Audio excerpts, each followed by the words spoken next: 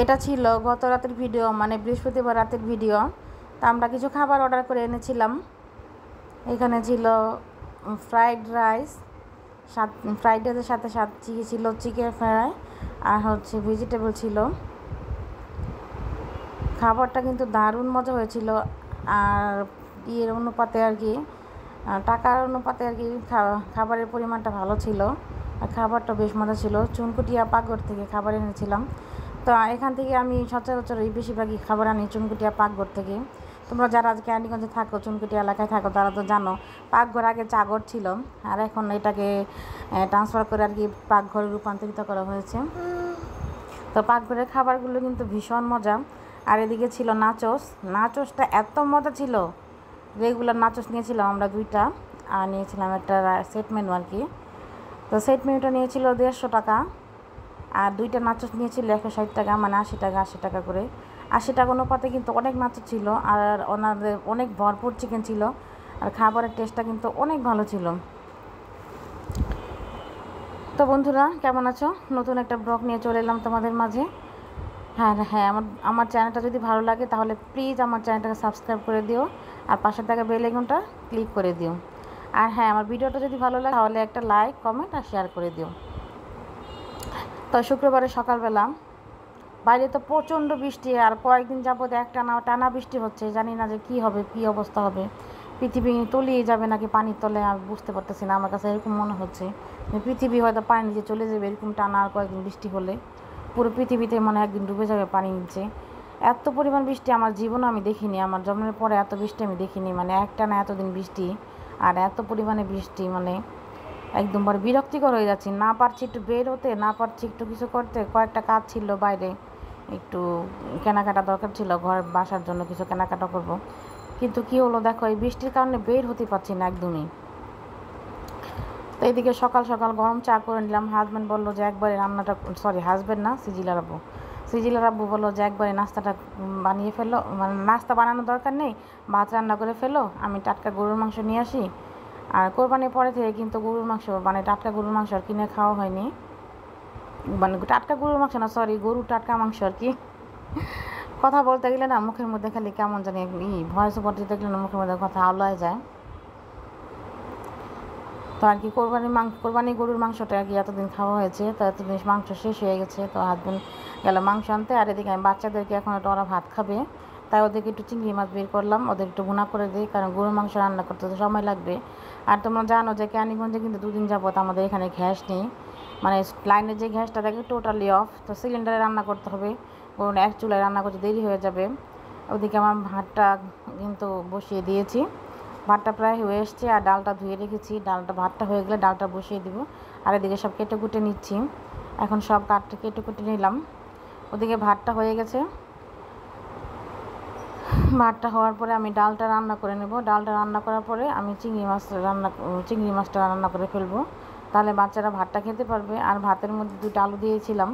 আমার হাজব্যান্ড আবার আলু ভর্তা ভীষণ পছন্দ করে। তো আলু ভর্তাও খেতে পারবে। আর এদিকে দেখো সব কেটে করে নিলাম। আজকে করব ঢেঁড়স ভাজি, গরম ভাত, চিংড়ি মাছ ভুনা, গরুর মাংস, আলু দিয়ে ঝোল, আলু ভর্তা এই আজকে মেনু আর কি, সকাল আর দুপুরে কি খাওয়া হবে। সকাল সকাল রান্না করে ফেলব। আর এই যেদিকে ছেলে মেয়েদেরকে কিছু আপেল সরি আপেল বলে, পেয়ারা আমরা শশা কেটে দিলাম। আর দেখো, মেয়ে কত সুন্দর করে আমার প্রত্যেকটা রুম গুছিয়ে নিল। তা আজ তো শুক্রবার, আপা আসবে না। যেমন জানো, শুক্রবার দিন আপা আসে না। যারা আমার ব্লগ ভিডিও নিয়মিত দেখো। তো এই জন্য আর কি মেয়েকে বললাম যে আমি রান্নাটা করে ফেলি। তুমি এদিক দিয়ে বিছানাগুলো গুছিয়ে ফেলো। তো মেয়ে বিছানাগুলো গুছিয়ে নিচ্ছে। আর এদিকে কিছু শুকনো কাপড় ছিল। বারান্দা থেকে শুকনো কাপড়গুলো নিয়ে আসছি। আরেক দেখো ছেলে দাঁড়িয়ে দাঁড়িয়ে গাড়ি দেখছে। তাই সকালবেলা কাজই হলো। এখানে দাঁড়িয়ে দাঁড়িয়ে গাড়ি দেখবে। দেখো, চারিদিকে কিন্তু ও কী অন্ধকার হয়ে আছে। এখন কিন্তু মাত্র সকাল সাড়ে নটা তারপরে দেখো, মনে হচ্ছে যেন বিকাল হয়ে এসেছে। এরকম অবস্থা আর কি। বাইরে বৃষ্টি, একটু কমেছে বৃষ্টিটা। কিন্তু আমি যে এখন ভয়েসে ভয় দিচ্ছি সন্ধ্যাবেলা, বাইরে কিন্তু অঝোরে বৃষ্টি হচ্ছে। এই যে মেয়ে সবগুলো রুম গুছিয়ে নিয়েছে। তো দেখে থাকো আমার ভিডিওটা।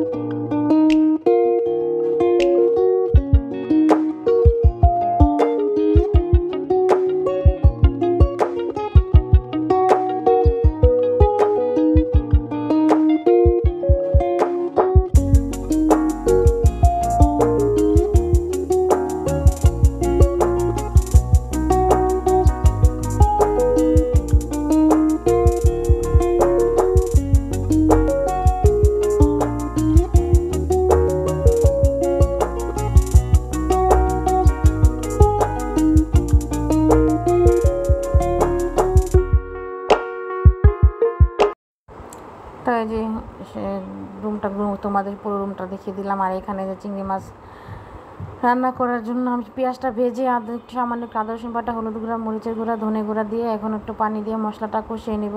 আর চিংড়ি মাছটা আমি আজকে ভাজবো না, একেবারে মানে তা কষিয়ে রান্না করে ফেলব।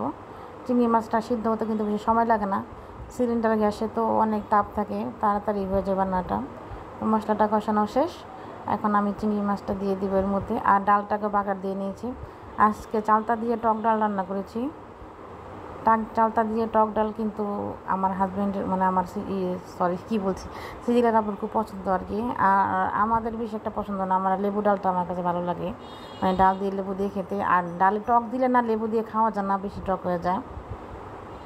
তো কী আর করা?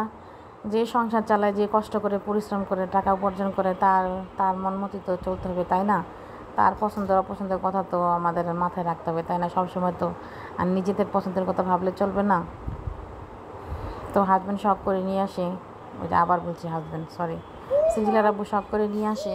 তো কী করার আছে? ওকে তো রান্নাটা করে দিতেই হবে। তো যে কোনো টক ডালই ওর পছন্দ। যেমন তোমার আমের দিনে যখন কাঁচা আম আসে, তখন কাঁচা আমের দিনে কাঁচা আম দিয়ে ডাল, তারপরে জলপাই দিনে জলপাই দিয়ে ডাল, চালতার সিজনে চালতা দিয়ে ডাল।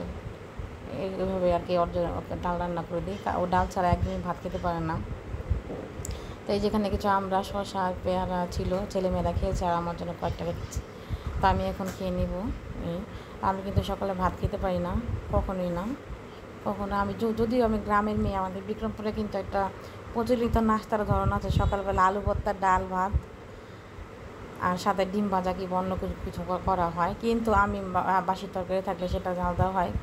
কিন্তু আমি কখনই কিন্তু সকালে ভাত খেতে পারি না। আমি হয় বা হয়তো মা আমাকে পরোটা বানিয়ে দিত হয়তো কথা হয়ে গেছে আমাদের বাসে না, সকালে রুটি আলি আসতো।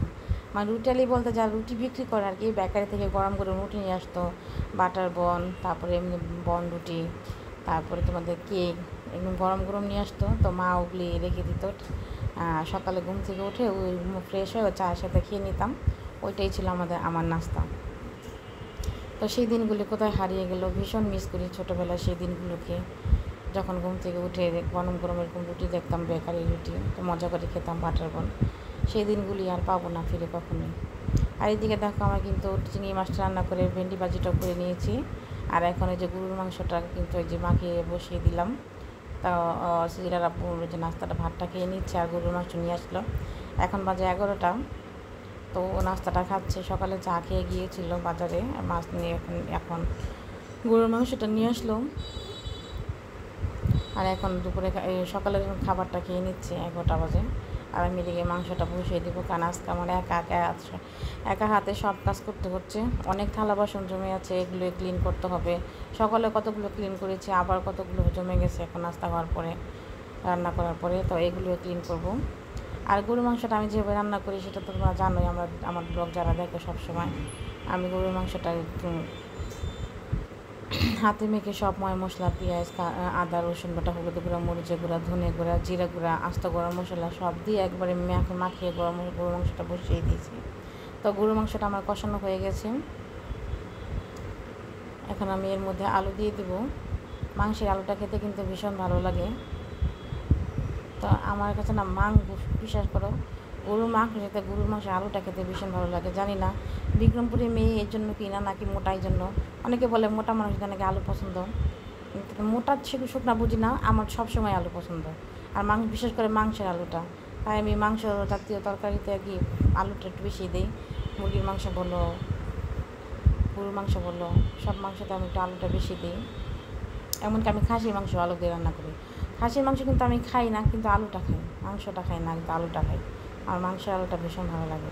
আর এই আলুটা যদি ভেজে দেওয়া হতো না, তাহলে আরও বেশি ভালো লাগতো। কিন্তু একটা চুলা ভাজতে গেলে আবার সময় লাগবে, তাই একটু কষিয়ে এখন রান্না করলাম। আর এদিকে মাংসের পরিমাণ মতো পানি, বেশ পরিমাণ পানি দিয়ে দিলাম। কারণ মাংসটা সিদ্ধ হতে সময় লাগবে। আর আজকে একটু ঝোল ঝোল করে মাংসটা রানবো অত কষা ভুনা করব না। কারণ একটু গরুর মাংসের ঝোলটা খেতে ভালো লাগে। তো সিজিরা আব্বু বলল যে, ঝোল দিয়ে রান্না করো।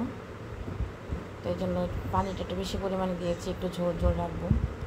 আর এদিকে তখন সবার খাওয়া শেষ ওখানে যে টেবিলগুলো গুছিয়ে নেব। চিংড়ি মাছ রয়ে গেছে, একটু আলু ভর্তা সব কিছু রয়ে গেছে। এখন টেবিলটা ক্লিন করে নেব।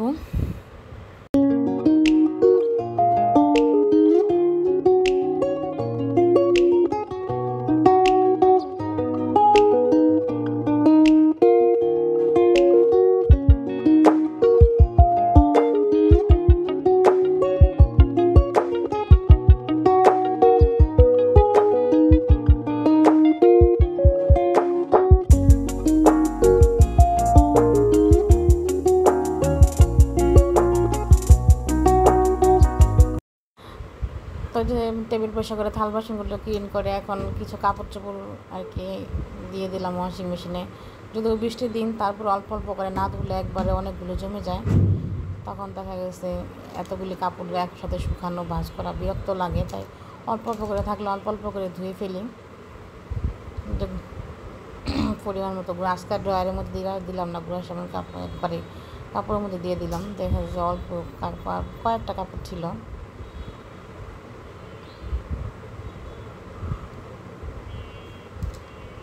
তো যে দেখো, ও সরি থাল বাসনগুলো মানে ক্লিন করিনি, এখন ক্লিন করতে হবে। তখন আগে টেবিল পরিষ্কার করে গুছিয়ে রেখেছিলাম।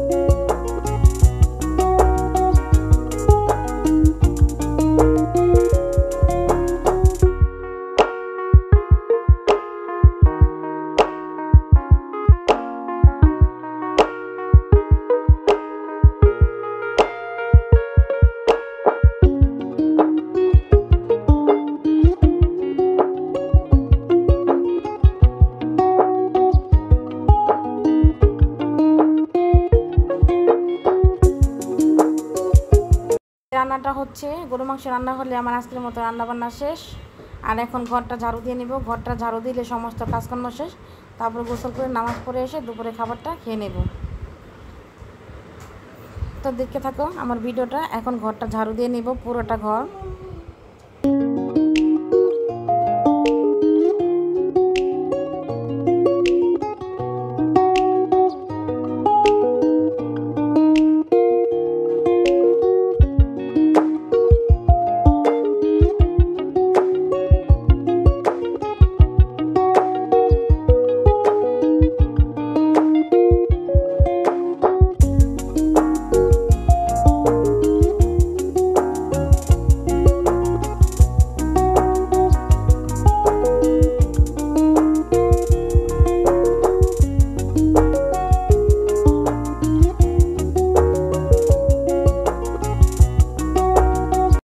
সমস্ত কাজ করা আমার শেষ, গোসল করে চলে এসেছি, এখন দুপুরে খাবারটা খেয়ে নেব। এই যে এখন দুপুরে আমি নেব এক এক বাটি ভাত। এই যে দেখো, সুপের বাটি যে থাকে, এর এর এক বাটি ভাত নেব, এক বাটি ডাল নেব, এক বাটি সবজি নেব, আর দু পিস গরুর মাংস, একটু সামান্য একটু ঝোল নেব, কোনো আলু নেব না। আজকে ভাবলাম যে না, আলুটা খাব না। দেখি না খেয়ে থাকতে পারি কি না আলুটা যেহেতু পছন্দ কিনা তারপরে যেহেতু ডায়েট করছি, আলুটা না খাওয়াই বেটার তো নিয়ে নিলাম এক পিস লেবু। আর এখানে নিয়ে নিব হচ্ছে সবজি ভাজি। সবজি ভাজিটা আর কি তোমার পছন্দ মতো যে কোনো এক বাটির মতো নিতে পারো কিংবা যার যার পছন্দ অনুযায়ী। তবে ডায়েটের ক্ষেত্রে কিন্তু সবজিটা বেশি পরিমাণে খেতে হয়। আর সরিষা তেলে রান্না করতে পারলে সবচেয়ে বেশি ভালো হয়, কিন্তু সিজিলার আপু তো সরিষা তেলের খাবার না খাবার পছন্দ করে না কাছে ভালো লাগে না। কী করে আর আর গরুতর মাংস তরকারিটা কিন্তু অনেক সুন্দর কালার এসেছে। তো অন্ধকার তো বাইরে ক্যামেরা ফ্ল্যাশ লাইট জ্বালিয়ে মানে দেখাচ্ছে, এই জন্য কালারটা এরকম বোঝা যাচ্ছে। নয়তো মাংসটা কিন্তু লাল টকটকে এসেছে। আর ঝোলটা একটু বেশি পরিমাণে দেখেছি, কারণ আমার বাচ্চারা ঝোল খেতেও ভীষণ পছন্দ করে ওরা, গরুর মাংসের ঝোলটাকে আর যেহেতু টাটকা টাটকা গরুর মাংস সেটা আরও মজা। আর মাংসটা কিন্তু অনেক সফট হয়েছিল।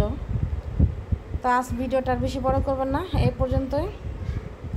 দেখা হবে আর একটা নেক্সট ব্লগে সবাই ভালো থেকো, সুস্থ থেকো, নিরাপদে থেকো। আল্লাহ হাফেজ